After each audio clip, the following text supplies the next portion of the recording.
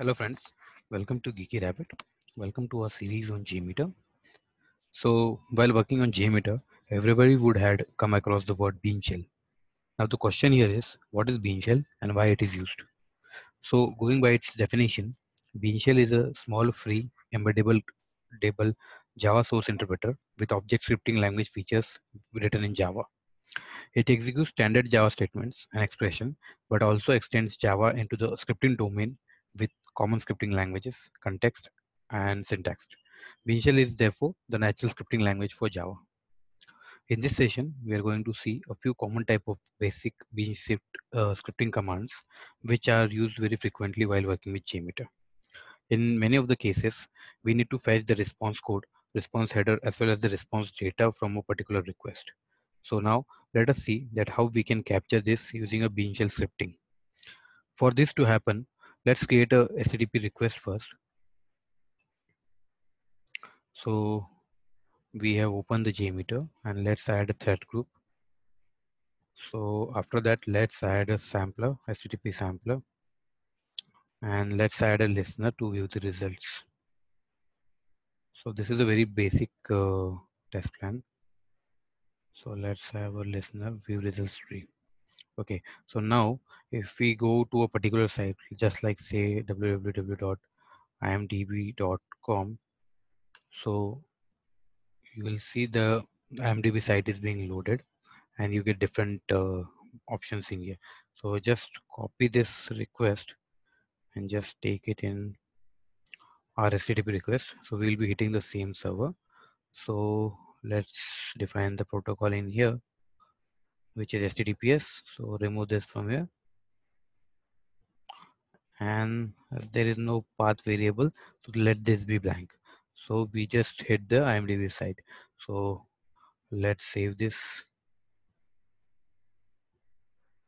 So let's save this as bean shell one dot jmx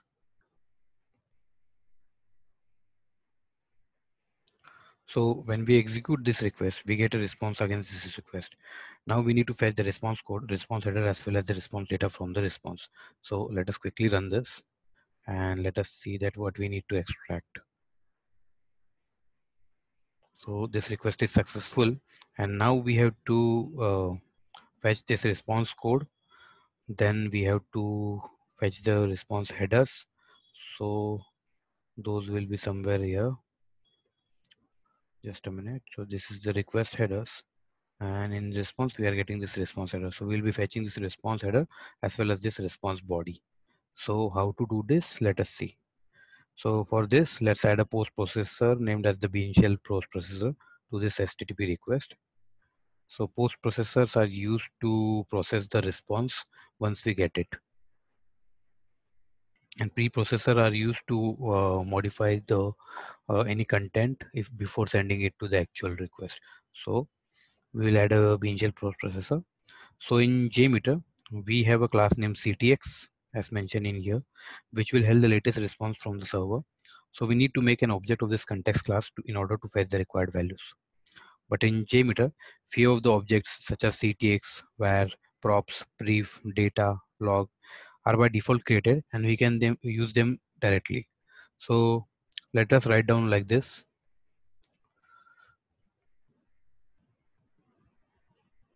CTX, so let us write down in comment sorry just let me give me one minute okay so ctx is a context class object and this class sorry already exists in jmeter api so we'll be using this to using this class. We can fetch in the response code first. So let's down the write, write down the code. So we will be fetching response code. So write down fetching response code.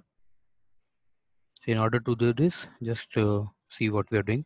So we are doing log info because it will print the response in the particular when we run this program. And then we'll type in response code. So if you see response code is then comma plus then we will use the ctx then get previous result. So this is a particular method. And then get response code. So one thing to note in here is that we have used the camel casing and it should be taken care of. So let's close this and click. So in this way we can get the response code. So now let us do one thing. We will go to tools uh, sorry options and we will see this log viewer. So it will add the log viewer in here and it will show all the logs for this particular bean shell post processor. So now let us save this and quickly run this to see what happens. So when you will run you will see the http request has been ran and now you're getting the expected response you see in here the response is in here. And now if you go to our bean shell post processor so we have printed this out. Response code is and it will fetch the response code from this http request that is 200 and it should be printed. So if you go in here you can see it has printed in. Response code is 200 so in this way you can get the response code. Now in similar way we will be fetching the response headers and the body so let us write it down quickly. This is for headers and just write in fetching request body. So let us copy this command. We have to just change the method. So now here we will be getting the response header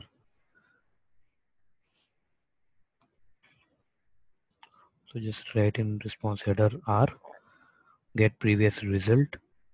And now here we have to write get response headers.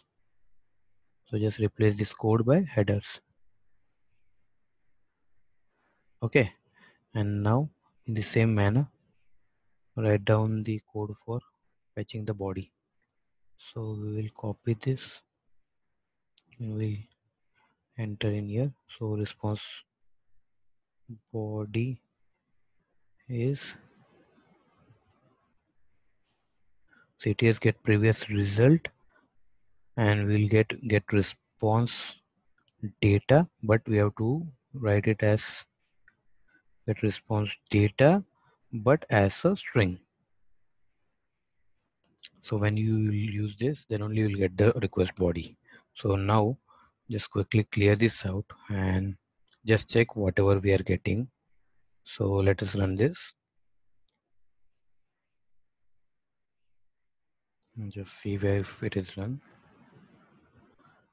Okay so now the request has been run and now if you go in here you will see in here that first of all it printed the response code then it printed the response header that are exactly the same which we got with our request so if you can verify that if you want to verify see in here these are the response. And if you go to the response you'll see the response headers. So if you compare this these are the same. So these are the same ones. And now if you compare the body so the whole body is printed in here. So just go down a bit and you can see the whole body is been printed out so you can read out from your response body is doc type HTML the whole HTML document is being printed in here. So in this way, using the Bean shell scripting, you can uh, get the response code, response header, as well as body. So now let us print all this information in the JMeter console. So for doing this, we will have to use the system out println command. So just do one thing, go in here and print, uh, type in system dot out dot println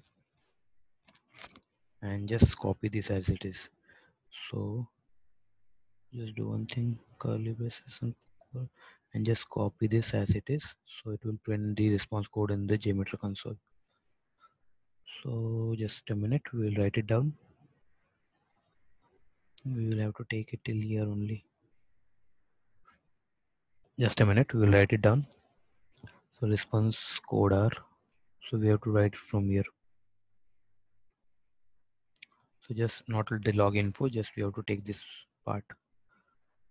Control c just enter. So we are only printing the response code. In the same manner just copy this system out println and go in save in here and again in here just replace this uh, response header code. And replace it with this. Okay perfect. And now this response body. In here. Okay so now just close this. So we didn't copy this? Okay now it's perfect. So now let's just see what happens so it will be printed in the log viewer as well as this JMeter console. So right now there is nothing printed in here right? So once you run this now just see what happens. Just wait for it to finish. Okay so request ran successfully. And in JMeter if you can see the same thing is being printed in here so the whole response is being printed in here. So you can see the response code is 200 that is being printed. The response headers are printed. And now uh, if we go a little bit down you will see the whole response is being printed. So with this we come to an end of this video in the series. That was on fetching response code response header as well as the response body using the bean shell scripting. Hope you have liked it and do post all your questions suggestions in the comment section below so see you soon with more JMeter related content. Until then have a great time. Thank you and have a good day